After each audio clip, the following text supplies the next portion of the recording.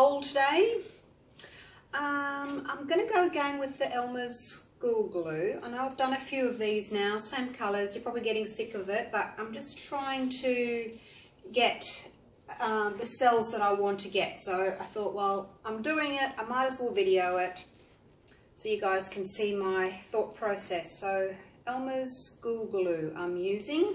70% of that to 30% of water and then I've mixed my paints 50-50 so equal parts pouring medium to paint except for the blue. The blue I had to add um, more pouring medium. That one was 50 grams of 50 grams of pouring medium to 40 grams of paint uh, 70 to 70, 70 to 70. This one I only wanted a little bit because it's quite overtaking. It's 40 grams, 40 grams, 70, 70. So in all it should be 600 grams.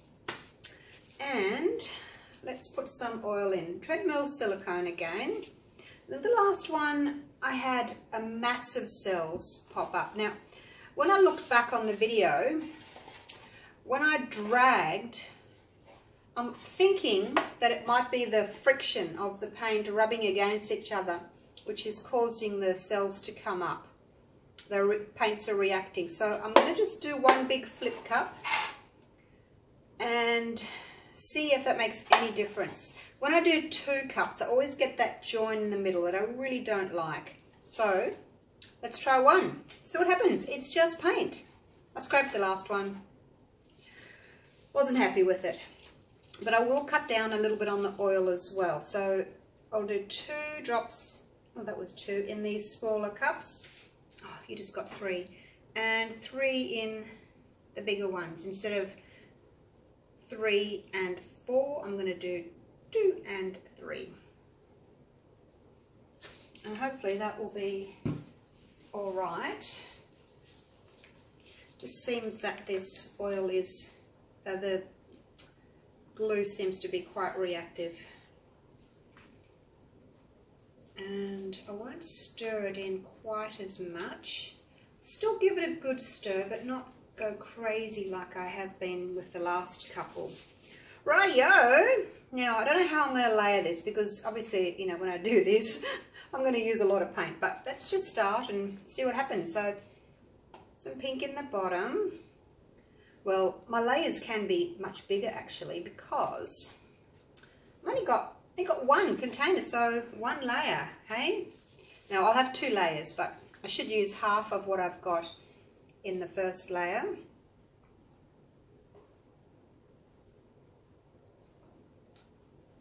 I want to save a little bit for my corners. Maybe the plum.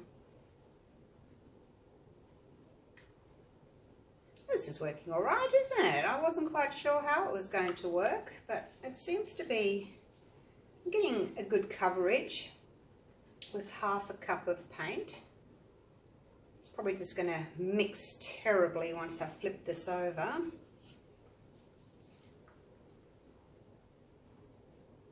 But I do like to experiment.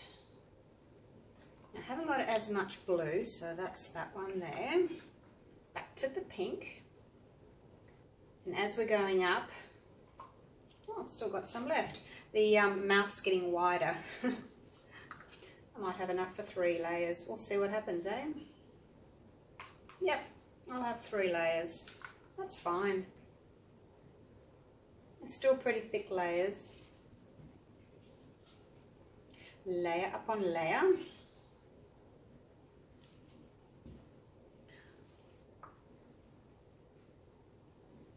Keen to see how this is going to work.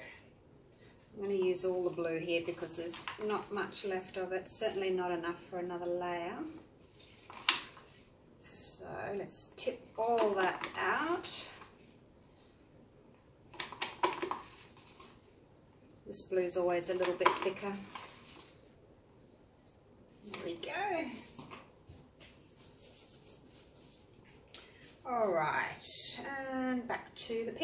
finish that off now.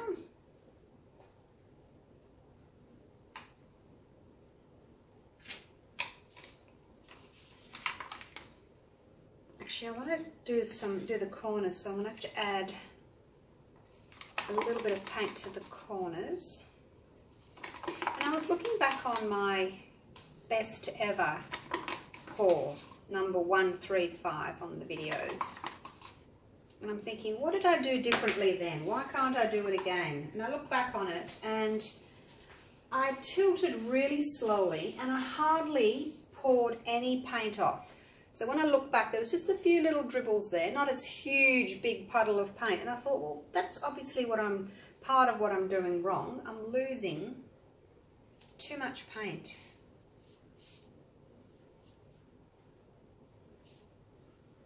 So I'm going to try and keep as much paint on the surface as I can. I do these two in the dark purple and then the opposite two in the dark plum. And then if I don't get to covering those corners, it won't matter. I won't be too stressed about it. Now this one needs a little bit more paint. Why I using my finger? Hey, why, why, why? I've got my little tool. That's what it's here for. Like so. I Don't want to take too much paint off, do I?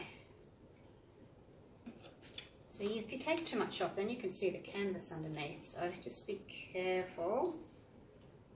Just enough to cover that. Beautiful. Okay, let's do another layer. Or what's left of it anyway. I hope I can flip this. I'm going to have to actually turn the canvas upside down and put it on top because there's no way I'm going to be able to flip this over without making a mess.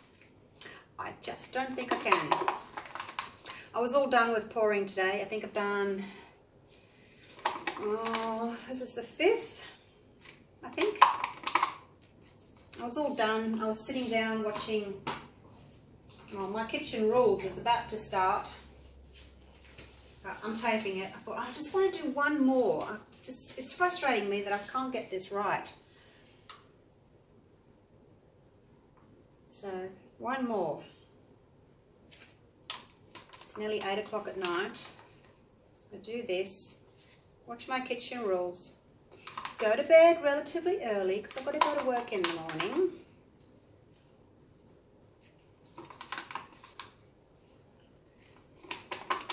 Doesn't work get in the way of playing, hey? Gets in the way of pouring. It's just not fair. All right, now I want to save a little bit of this plum this corner.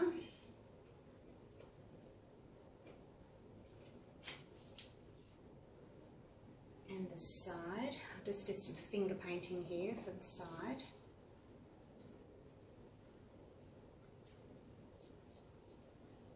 When I look back on that really good pour, I, I didn't actually cover, like I didn't pour over the corners, or tilt over the corners I should say. I actually poured out my leftover paint onto the corners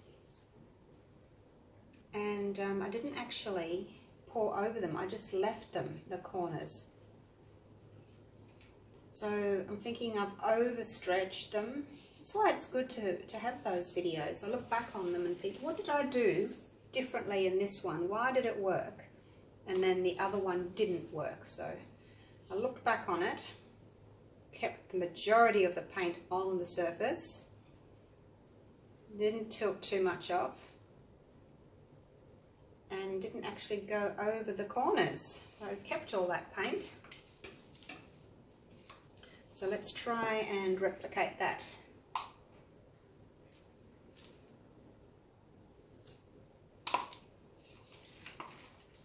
I don't get it, I'm not going to sleep tonight.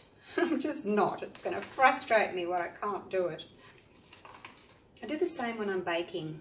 I do a recipe and if it didn't work, then I change something and I do it again and I change something and I do it again and I have to keep doing it and doing it and doing it until I get it right. Which is very annoying, but I do the same with my painting. Just keep doing it and doing it until I'm happy with the result. But I've got my corner catcher, I've got a stick, got my little tool. I'm set to go. Oh, colours. I'll show you these before, then I can tip the canvas over. Peacock, plum, rose, uh, dioxazine purple, that's just in a spare container, dioxazine, and cool blue. Right, how am I going to do this? I'll hang on to that. Oh, I shouldn't have put it on there, it's made a dent. Actually, that's the other thing I need to do with this canvas. See, it doesn't have um, cross, uh, cross beam thingy in the middle. So, I need to put a piddle pad under there. Let me just draw this on so I know where it's supposed to go. I think that's about right. Just to stop the paint from, just a folded up piddle pad, just to stop the paint from um, sagging in the middle. Should be just enough to stop that from happening. Right, now I'm going to put that there and flip it over. Okay.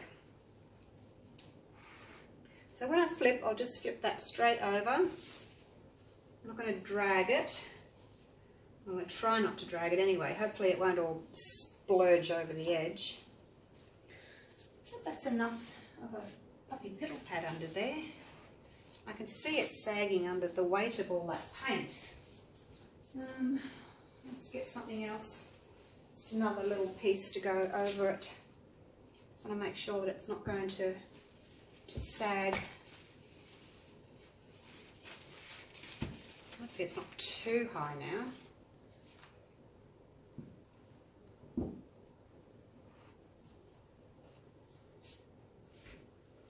Hmm. We'll see what happens.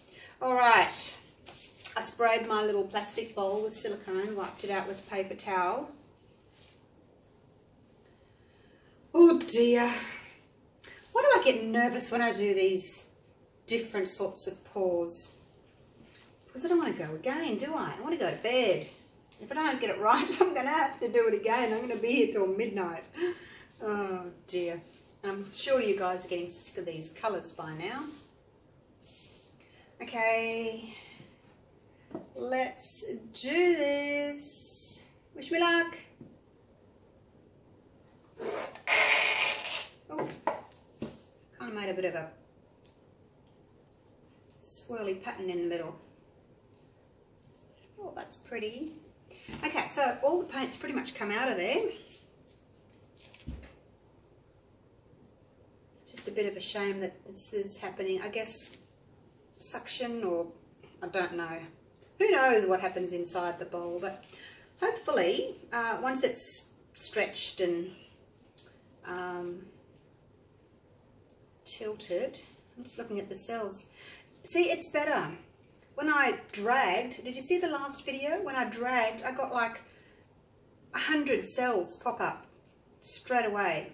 Now, I mean, I could count these on two hands. There's not that many.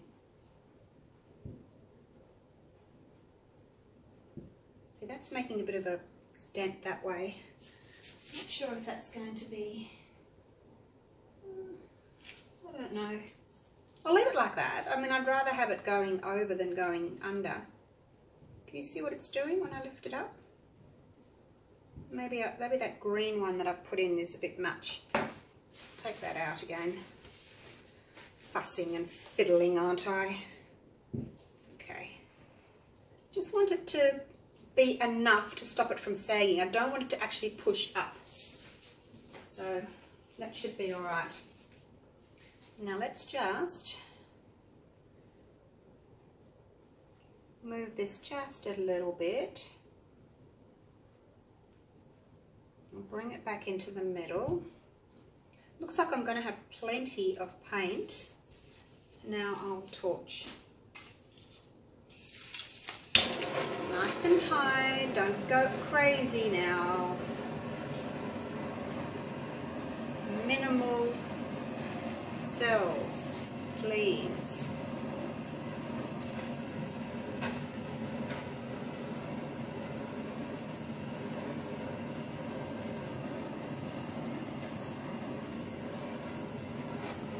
I think it does make a difference as to whether you're dragging your cups or whether you're just flipping them because this certainly has made a difference. Definitely. Because those other two pours I did, they were both drags, weren't they? I dragged both of them.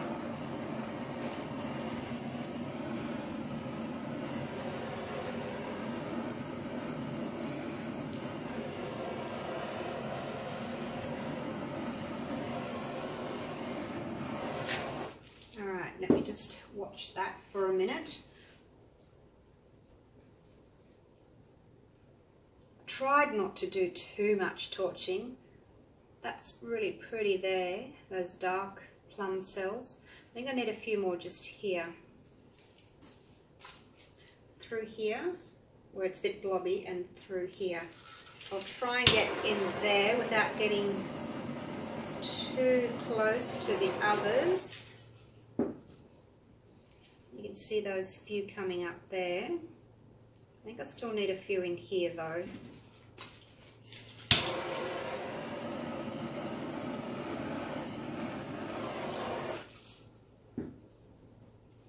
The colour uh, blending's not too bad, is it?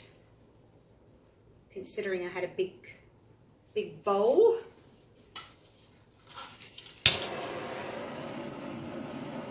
So scared of getting too close. I'm getting, I'm too far away and I'm not getting any reaction at all.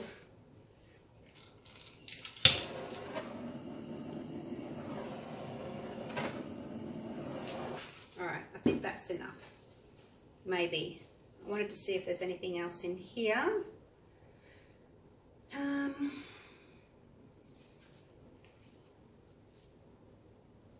I like this half better. That was the bit that I dragged, well, I flipped first, wasn't it? And this was the more blobby bit. That's really pretty there.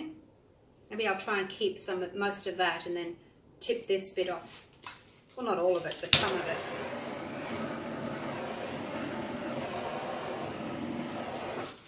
Oh, too close. Too close. Don't look at that. Okay, let's do it. Where will I start? Let's start at the very beginning. Let's do this corner. And as I said, if I don't get over that whole purple corner, so be it. What am I going to hold on to? I've got nothing to hold on to. There's no bar in the middle. I'm going to have to just try and hold it like this with one hand while I hold that with the other hand. Because there's no bar at the bottom for me to hang on to. Okay, it's nice and slow. Don't want to lose any off the sides. We're just going for the corner for now. I'll say I'm losing some off the sides though. Come back.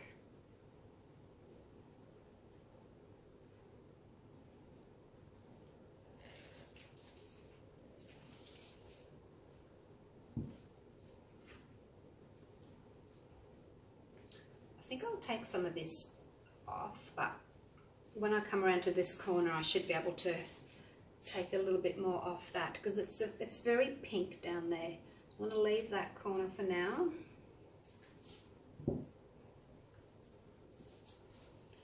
And I'll do this corner next. Oh, it's so hard not being able to hold on to anything. Oh, here, I'll have to hold on up here for this one.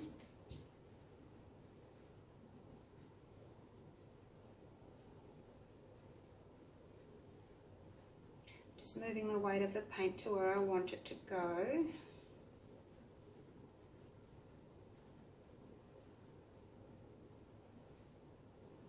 See some of that pink has fallen off already.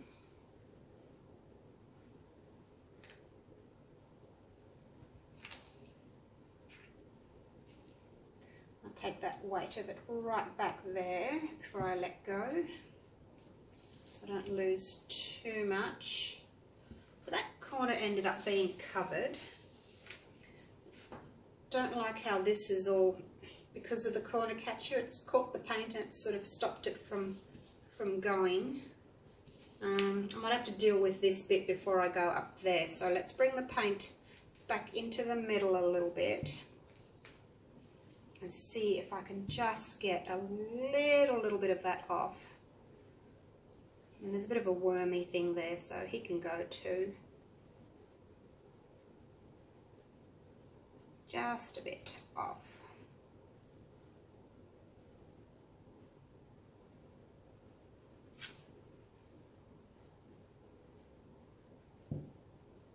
Off you go worm.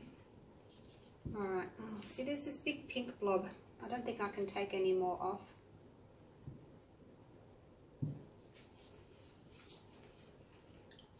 here am I saying to myself now don't take too much paint off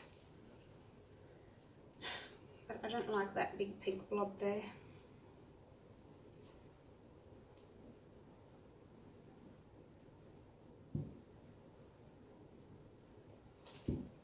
that'll have to do. I might be able to come back to it later on. I just don't want to deplete my paint too much and then I haven't got enough left up here. Alright, now I'll take it all the way back up here and off to that corner. I really love that section. So pretty.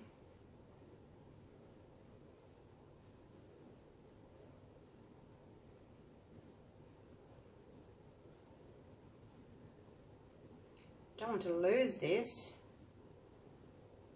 I'll just pop that down for a minute while I get my corner catcher back in place.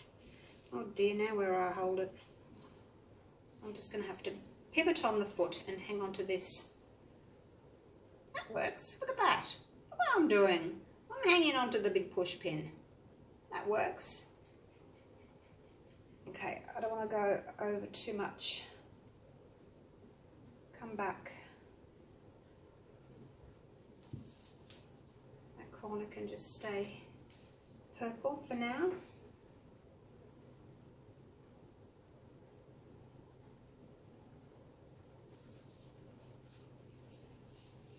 Pretty, pretty. Got a few cells up here that are a little bit on the big side. But let me get the other corner first before I think about what I'm going to do over there. Hang on to this push pin.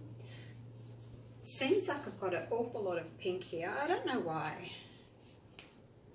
Don't know why. I guess because it was in the bottom of the cup bowl.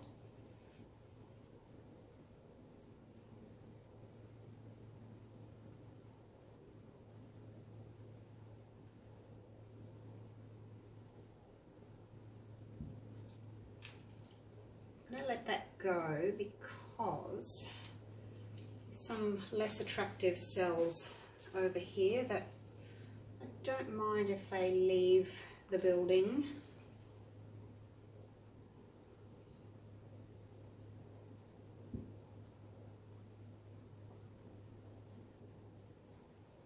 Still got a lot of paint on the surface, haven't I? Look at it all.